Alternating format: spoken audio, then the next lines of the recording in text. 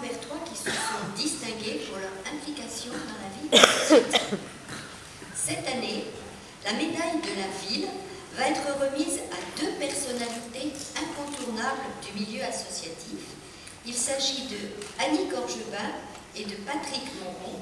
Merci à tous les deux, en faisant attention où ils mettent leurs pieds, parce qu'il fait noir, de venir nous rejoindre sur scène, ainsi qu'aux adjoints Marie-Christine Danilo et Patrick Dubois,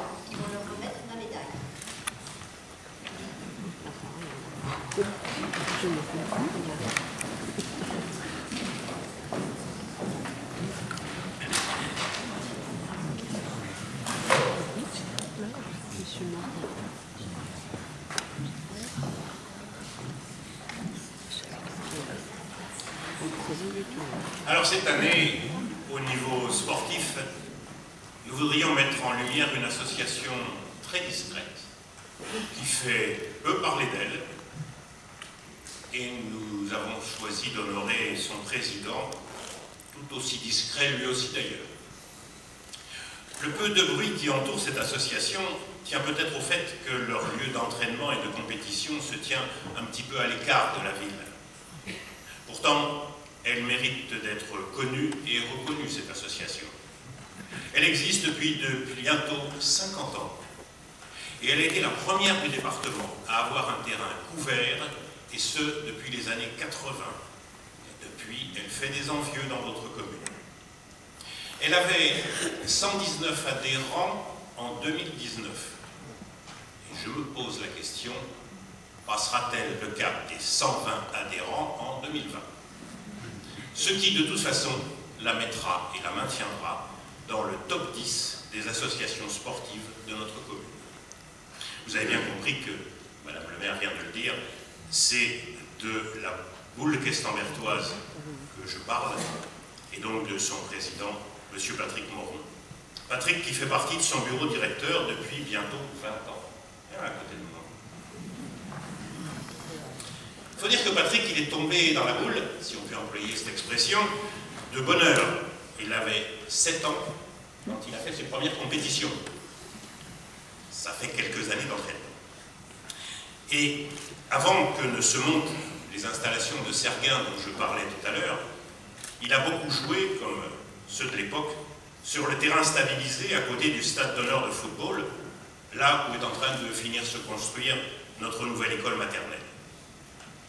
Alors autant que son emploi du temps professionnel le lui permet, Patrick est là pour encourager, pour organiser. Et puis il y a les compétitions à Serguin ou sur d'autres boulots du département. pour autant de fidélité à ce sport et à ce club, Patrick, je suis très heureux de te remettre aujourd'hui la médaille de la ville de Questembert.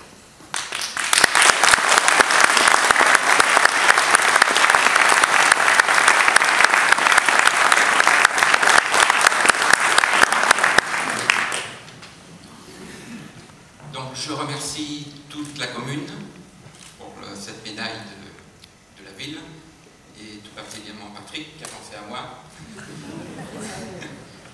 Merci bien. Et autrement, je voulais remercier, parce que moi je suis intervenu président en 2007, mais il y a eu d'autres présidents qui ont été là. Et entre autres, il y en a un parmi nous qui est fondateur des Jeux couverts. Donc je remercie Jean-Paul Mahé qui est là. Et entre autres, un autre pilier, parce que comme tout le monde le sait, une vie associative, il faut des bénévoles. Et donc il est là, il est un peu timide, il est comme moi. Donc petit Claude Serrazin, qui sont deux hommes euh, qui ont été fervents dans la sont mertoise Donc je les remercie et je remercie Patrick et la, et la commune.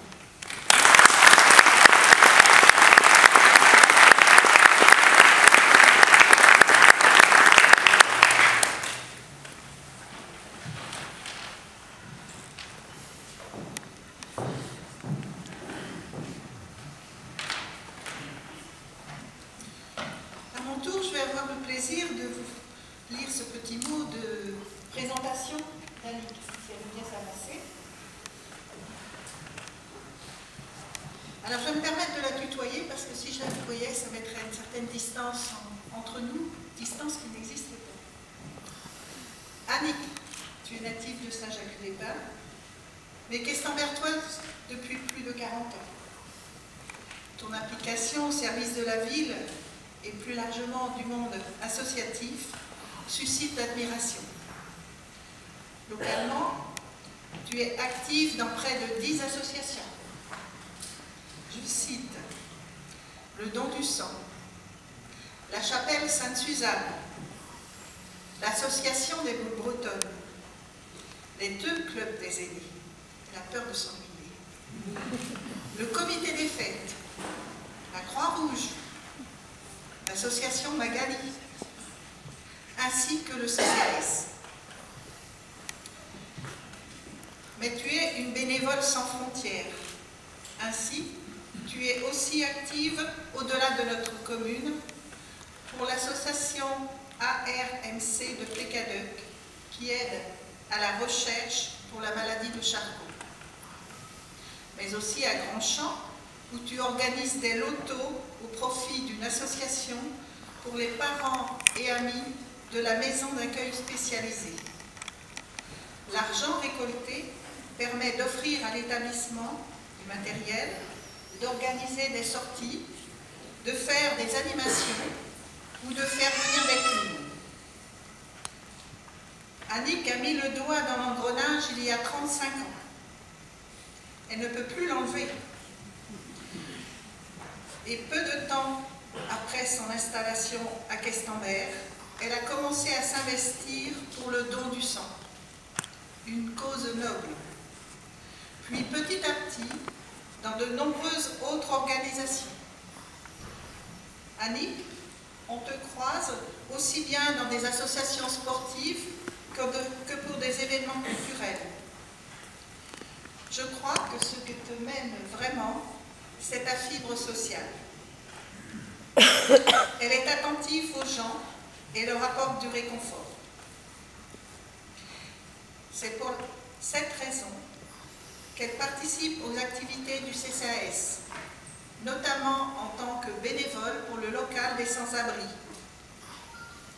Je sais que c'est une mission qui lui tient à cœur.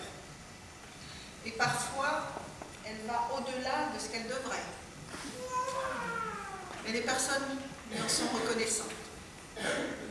Je pense à une dame qui t'a fait des dessins, qui lui cueillait des petits bouquets, ou encore à cette maman tunisienne avec son fils qui allait à l'école à Vannes et qui au moment de partir pleurait. Voilà, des belles histoires comme cela, Annick, tu en as. Et c'est la raison pour laquelle tu conseilles à tout le monde de s'inscrire dans des associations ou de venir donner un coup de main au CCAS. Tu dis, c'est vrai, parfois on manque de bénévoles. On n'en a jamais assez. Merci beaucoup Annick. Et pour t'encourager à continuer dans ce sens, j'ai la joie de t'offrir la médaille de la vie.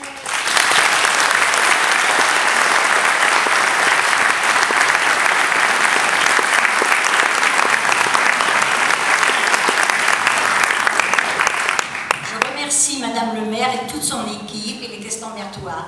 C'est avec plaisir que je le fais. Euh, vous êtes les bienvenus, les bénévoles. On a toujours besoin de bénévoles. Sans bénévoles, on ne ferait rien. Alors je remercie tout le monde. Merci beaucoup.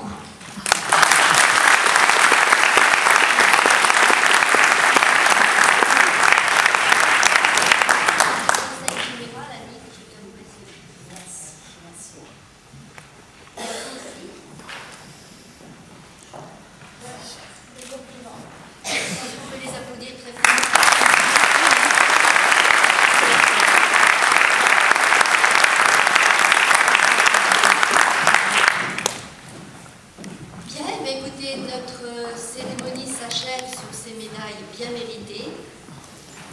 Mais avant de conclure, comme évoqué dans mon préambule, le contexte électoral de ce début d'année nous oblige à la prudence dans nos expressions du moment, surtout pour les élus qui se représentent à l'élection de mars prochain.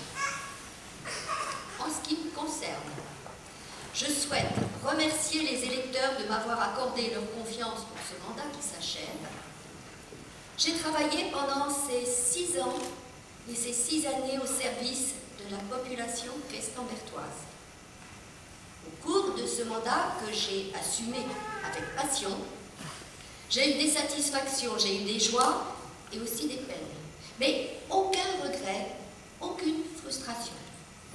Surtout, une très grande fierté d'avoir réussi à assumer cette fonction de maire.